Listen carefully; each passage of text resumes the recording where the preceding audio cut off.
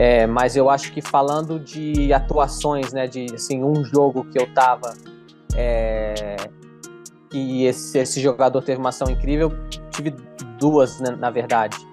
Uma foi o último jogo do Kobe Bryant, que ele fez 60, 60 pontos, foi assim uma coisa fora de série, né? Ele já estava no final da carreira, no último jogo da carreira dele, e ele e ele fazer o que ele fez, a gente estava jogando contra eles, foi uma coisa que, que eu achei impressionante. E a segunda foi esse ano que o Donovan Mitchell fez acho que 71 pontos é, num jogo que eu tava, acabei jogando do lado dele, né? Passei momentos na quadra com ele e, e foi uma coisa assim que aconteceu tão naturalmente, mas na hora que acabou a gente olhava um pro outro no vestiário e falava, nossa, o que, que foi isso?